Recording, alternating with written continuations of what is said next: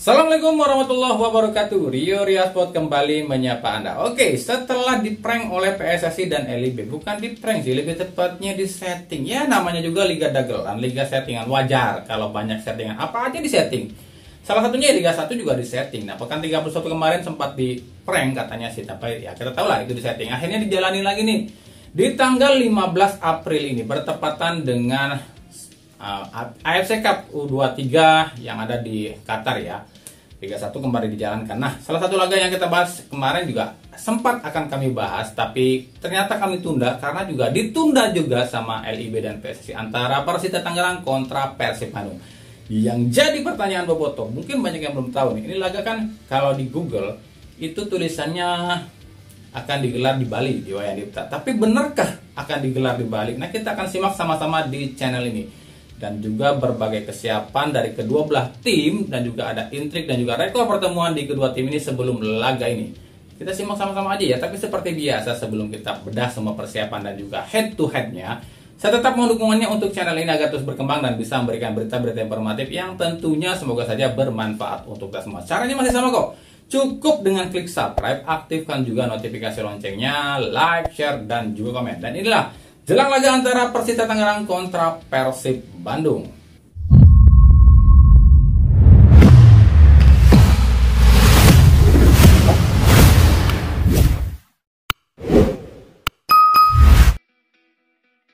Setelah diprank oleh PSSI dan LIB, lebih tepatnya sih disetting kali ya, biar klub ini ngelepas pemain ke timnas 23 ya, namanya juga liga settingan, gak usah aneh lah ya. liga 1 akhirnya dijalankan lagi, lucunya bertepatan dengan ajang ASEAN Cup U23 yang dimulai yakni 15 April 2024. Liga 1 masuk ke pekan ke-31 alias tinggal 4 pekan lagi dengan pekan ini lo ya. Maka akan berakhir sudah Liga 1 2023-2024 menyisakan 4 tim yang akan saling baku hantam di Champion Series.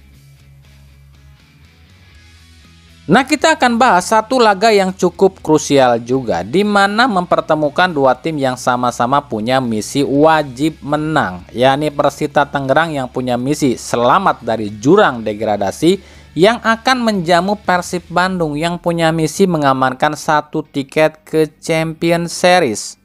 Kekhawatiran match fixing atau settingan tentu menyelimuti dua kelompok supporter di dua tim ini. Kenapa demikian? Pendukung Persita Tangerang khawatir laga ini disetting biar Persib yang menang dan Persita yang terdegradasi demi menyelamatkan salah satu tim anak emas PSSI yang ada di zona degradasi. Ya kalian tahulah tim mana itu.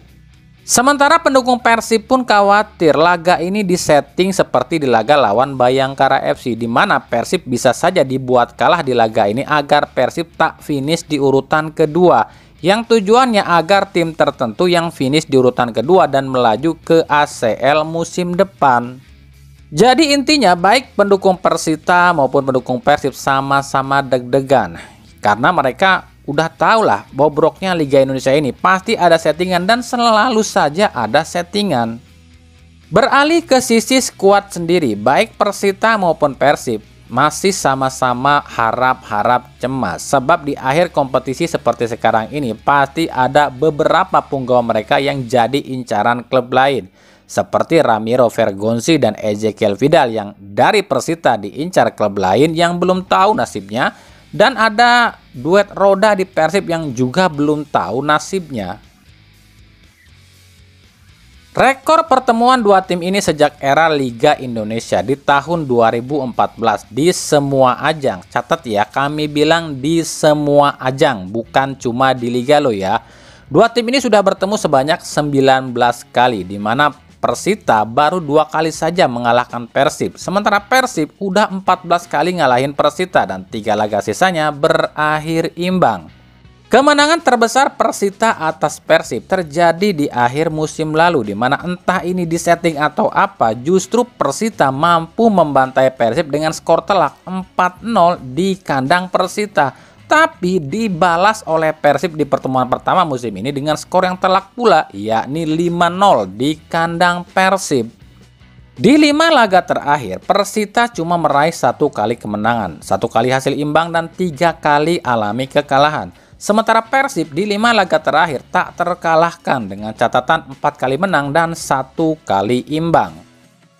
Di laga terakhir, Persita ditekuk Dewa United alias Derby Tangerang dengan skor telak 4-1. Sementara Persib ditahan imbang Bayangkara FC dengan skor 0-0.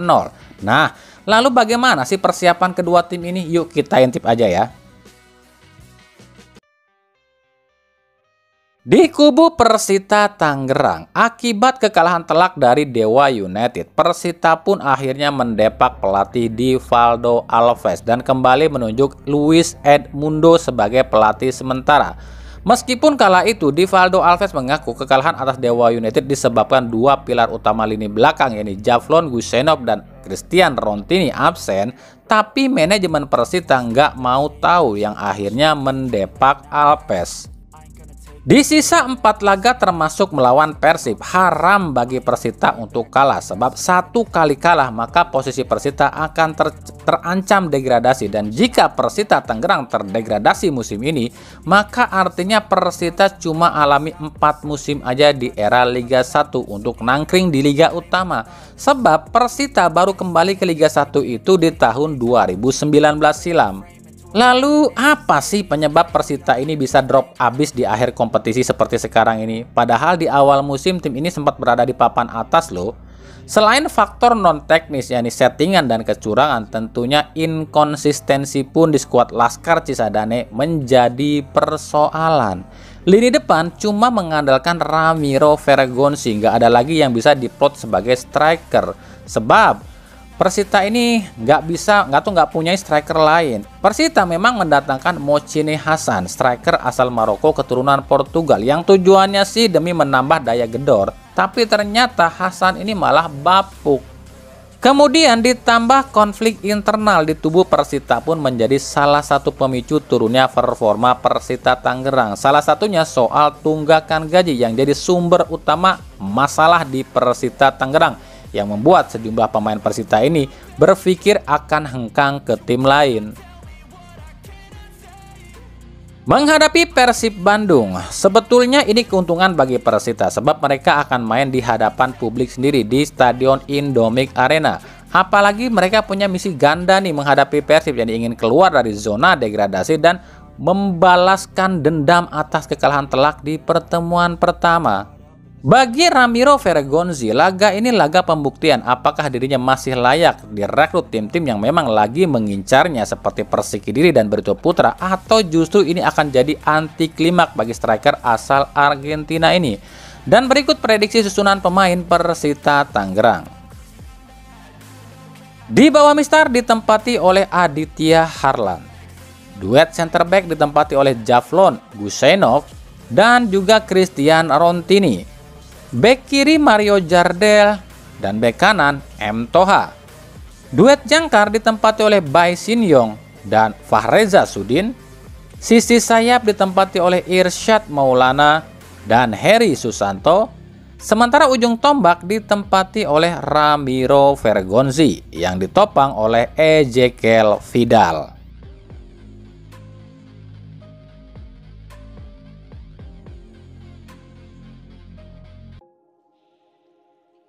Sementara di kubu Persib Bandung, sebenarnya di laga ini Persib diuntungkan sebab dengan ditundanya liga otomatis recovery para pemain Persib pun yang sempat absen bisa pulih seutuhnya. Terutama duet bomber Persib Ciro Alves dan David Da Silva yang sebelumnya sempat diragukan bisa tampil kini bisa dipastikan akan tampil. Tapi kekhawatiran Boboto itu bukan ada di sisi skuad loh, tapi ada di sisi non teknis. Kejadian lawan Bayangkara FC yang jelas-jelas terlihat di setting pun menjadi kekhawatiran bagi para Boboto. Jadi gini loh, kami pun agak bingung sama Persib saat ini, khususnya di akhir-akhir kompetisi gara-gara kejadian di laga lawan Bayangkara kemarin. Kamu pun jadi nggak tahu nih, di laga ini Persib ini disetting untuk menang atau disetting untuk kalah. Kenapa kami bingung? Sebab yang menyeting itu bukan cuma dari pihak luar, tapi dari pihak dalam Persib itu sendiri. Jadi kami nggak tahu nih di laga ini Persib ini disetting biar menang atau disettingnya biar kalah. Ya meskipun kami yakin Boyan Hodak sendiri nggak pernah terlibat dalam hal ini Terbukti saat lawan Bayangkara FC kemarin pun Hodak ini berambisi untuk menang Terbukti dengan menurunkan semua pemain berbahayanya Tapi entah kenapa tiba-tiba DDS absen Ciro tiba-tiba cedera Beckham pun tiba-tiba cedera Maka wajar kalau di akhir laga waktu itu ya Hodak ini ngamuk-ngamuk Makanya di laga lawan Persita ini yang kami khawatirkan itu Boyan Hodak nggak tahu kalau di setting sementara para pemain ada yang menginstruksikan untuk main acak-acakan. Kami lagi nggak mengada-ada loh ya, sebab ini pernah kejadian di akhir musim lalu. Saat itu Persib dibantai oleh dua tim papan bawah Persikabo dan Persita di eranya Luis Milla. Dan akhirnya membuat Luis Milla ini ngamuk-ngamuk setelah tahu para pemain ini ada yang menginstruksikan agar main acak-acakan. Yang akhirnya Luis Milla pun jadi korban. Makanya ini bisa terjadi pada Hodak. Hodak memang berjuang mati-matian tapi ada pihak yang menginstruksikan pada para pemain Persib buat main acak-acakan yang akhirnya Hodak pun ujung-ujungnya didepak. Menghadapi Persita Tangerang, di sisi skuad sendiri sebenarnya Persib udah full tim sih. Semua pemain itu fit. Kevin udah balik. Klok dan Dado udah bisa tampil. Siro dan DDS pun udah pasti main. Rian Kurnia, Beckham Putra dan Hen Hen pun udah pulih. Jadi seharusnya Persib di laga ini bisa dengan bisa dibilang on fire dan dengan mudah bisa menang ya. Dan akan sangat aneh kalau Persib bisa kalah di laga ini.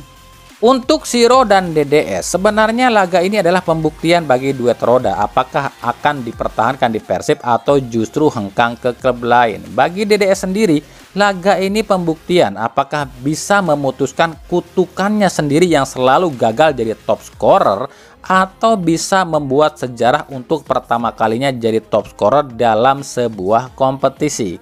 Sebagai informasi saja, laga ini sendiri kami dapat infonya tetap digelar di Stadion Indomik Arena ya, bukan di Bali. Sebab info yang kami dapat di latihan Persib terakhir, mereka ini udah mempersiapkan tim untuk travel ke Tangerang. Yang artinya laga ini memang digelar di Tangerang. Dan berikut prediksi susunan pemain Persib Bandung. Di bawah Mister ditempati oleh Kevin Ray Mendoza. Duet center back ditempati oleh Nick Wipers dan Alberto Rodriguez. Back kiri Rezaldi Hehanusa dan back kanan Hen-Hen Herdiana. Duet jangkar Maklok dan Dado. Sisi sayap ditempati oleh Febri Haryadi dan Siro Alves. Sementara ujung tombak ditempati oleh David Da Silva yang ditopang oleh Stefano Beltrame.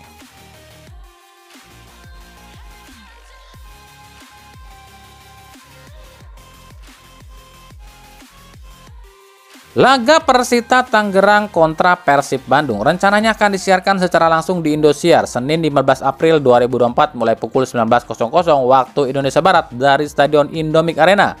Dan kami ingatkan lagi untuk tempat pertandingan dan waktu pertandingan ini bisa berubah-ubah lo ya tergantung dari keputusan LIB. Jadi kami nggak bisa pastikan ini digelar di situ dan jam segitu atau tidak. Oke, itu tadi ya sedikit pembahasan kita di jelang laga di pekan ke-31 antara tuan rumah Persita Tangerang kontra Persib Bandung. Nah, bagaimana menurut kalian? Siapa yang akan keluar di, jadi pemenang di laga kali ini? Sebab keduanya ini butuh menang benar.